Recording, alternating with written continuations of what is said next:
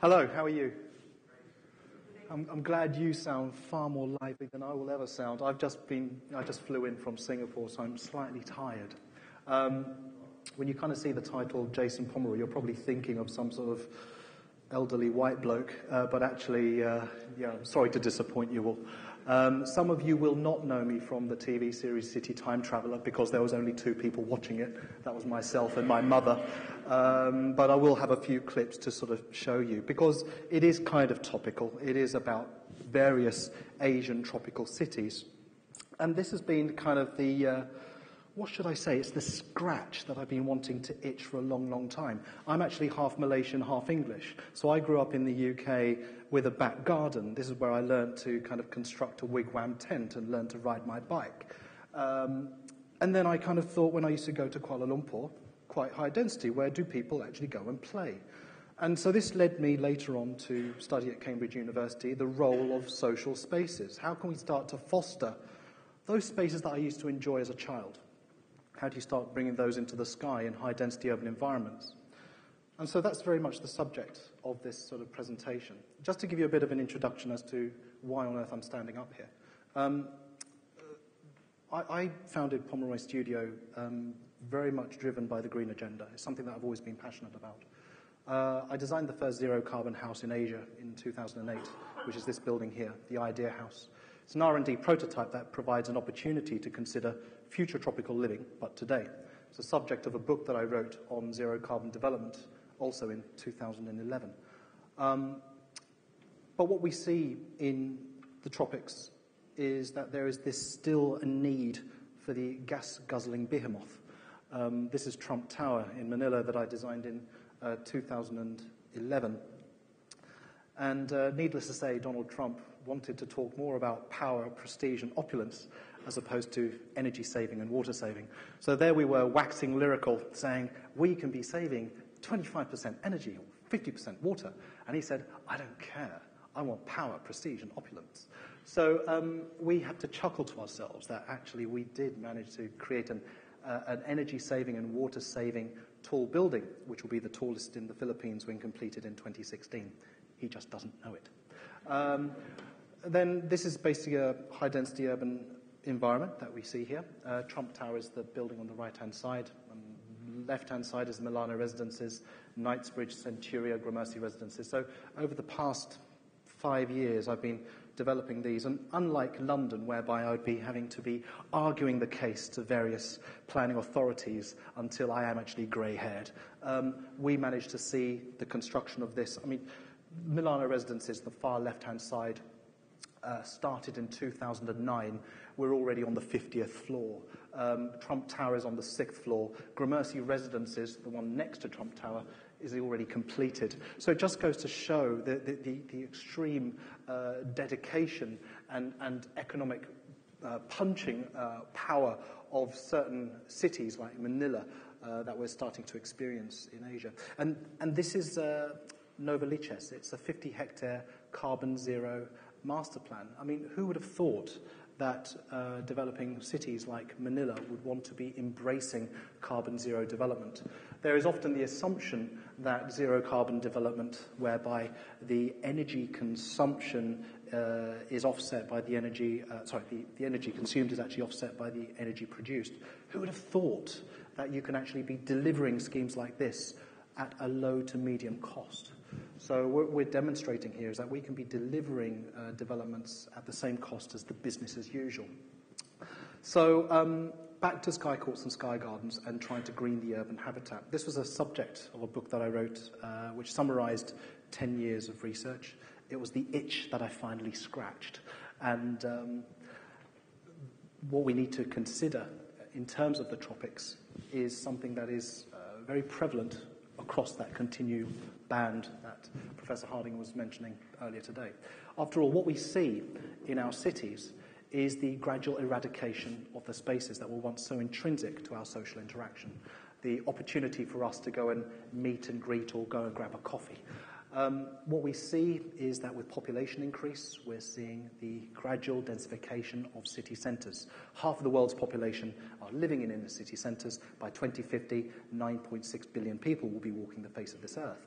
And what we're seeing is that with urbanization, you're seeing the reduction of open spaces. We're seeing the removal of streets and squares. We're seeing the increasing privatization of spaces.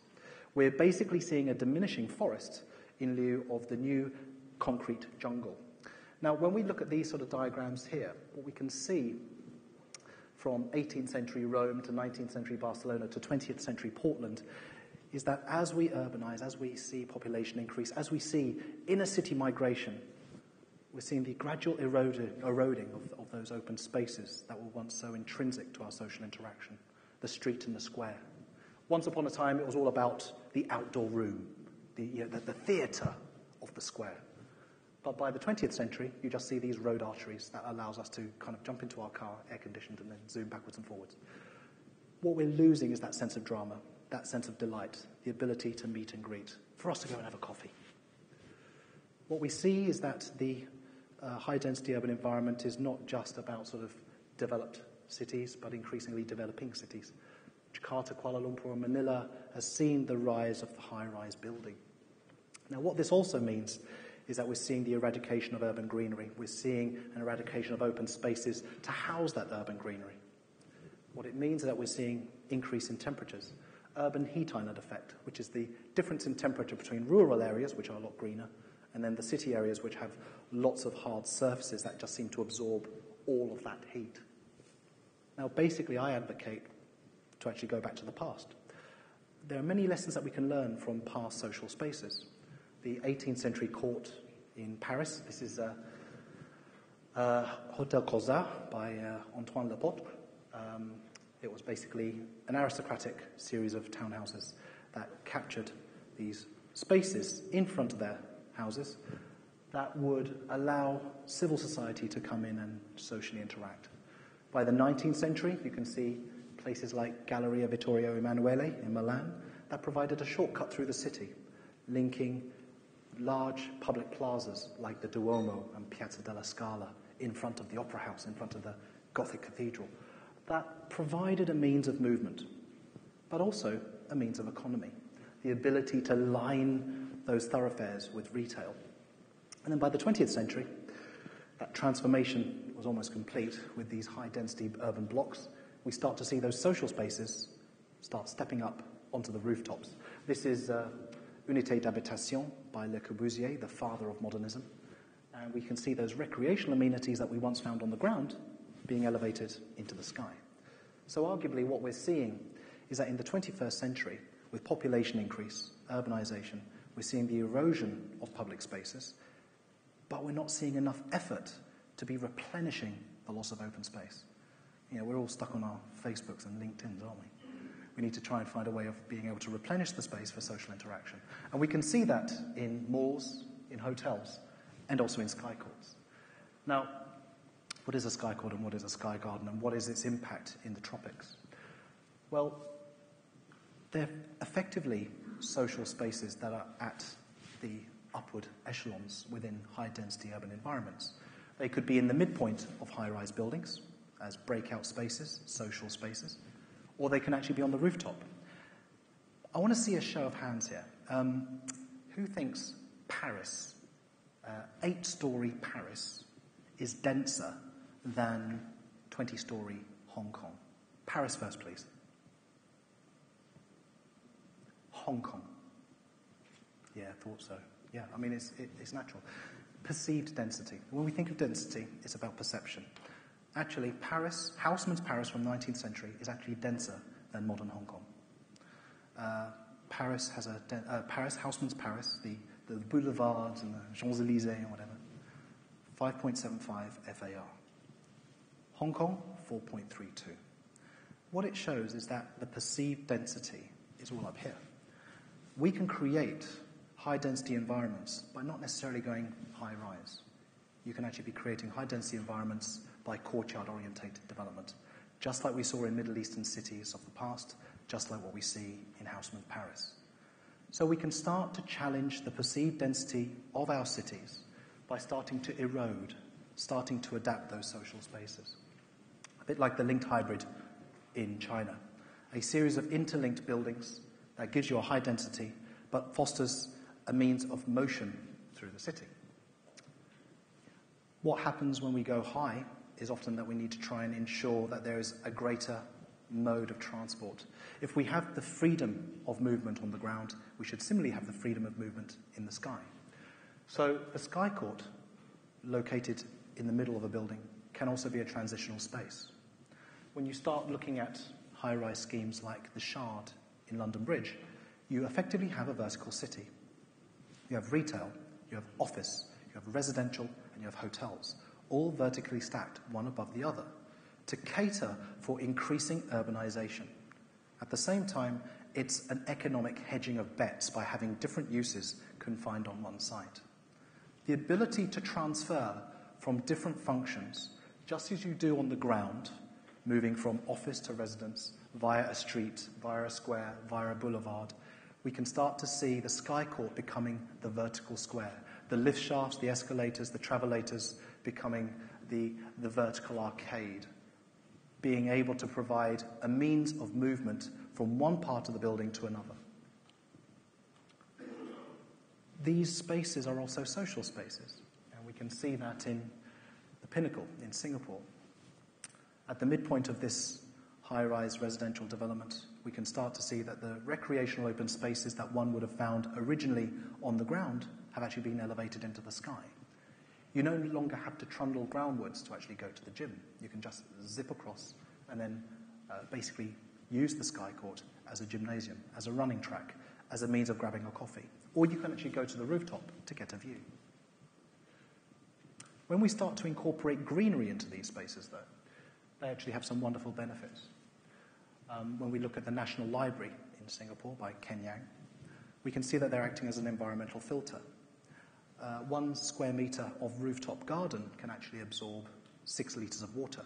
And when you think about flood prone environments like Manila, all of a sudden, by greening the rooftops, it's a means of actually reducing the reliance on large, heavy drainage uh, and civil engineering works in the ground.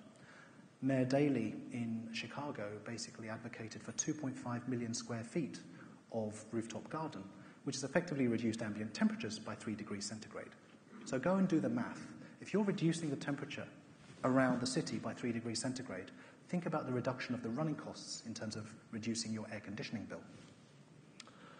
Okay, you've got to stick with me on this one. Sociophysiological well-being.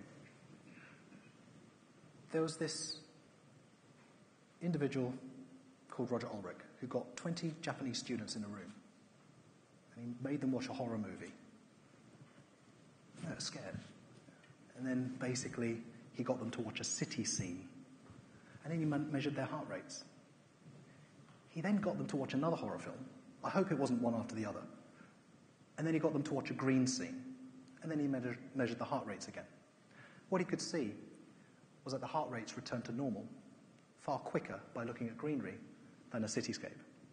What we're seeing increasingly is the socio-physiological benefits of greenery. That's why we see them incorporated into so many hospital environments. And in Khoo Teck in Singapore, what we see is the incorporation of greenery to absorb not only the noxious pollutants in the atmosphere, but to actually give the pleasure and delight of the patients to be healing a lot quicker than normal. Also, the income generating possibilities. I don't really fancy swimming close to the edge of this particular building, but uh, nevertheless, some of you do. Um, you actually pay $22 to go and get a view from this building. I personally just go and get a drink and then get a view for free.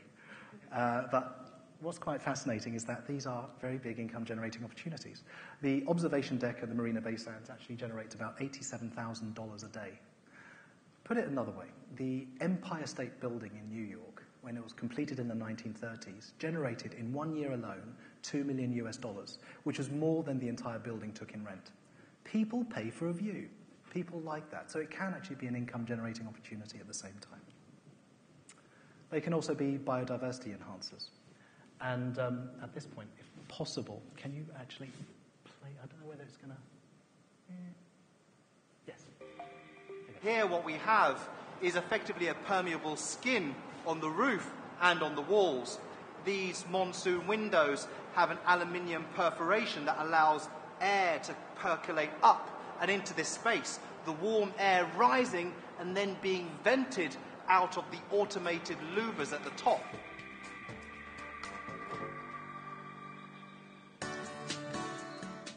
At the EcoCell Park, the ramp begins its rise. So, where are we now? Well, Jason, this is where the entire 1.5 kilometers of spiral green ramp begins. Yes!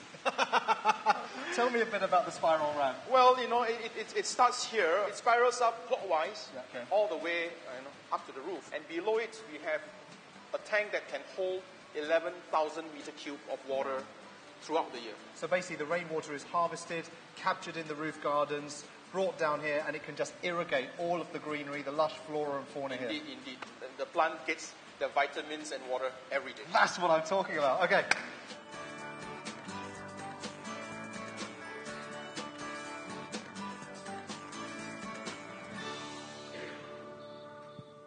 So this building, um, Solaris building in, in Singapore, is basically a continuous 1.5 kilometer, uh, kilometer track that runs around the perimeter of this office building. It provides shade and shelter.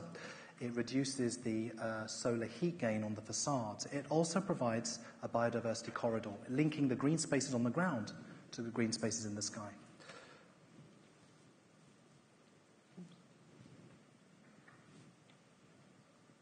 Ah, okay. So, um, what we can start to see is that sky courts and sky gardens have actually moved a long way from just being the simple terraces that we saw in buildings in the past. This is Charles Correa's Chang, uh, building in Mumbai. Nothing more than simple terraced extensions that provided an opportunity for people to kind of go and grab some fresh air.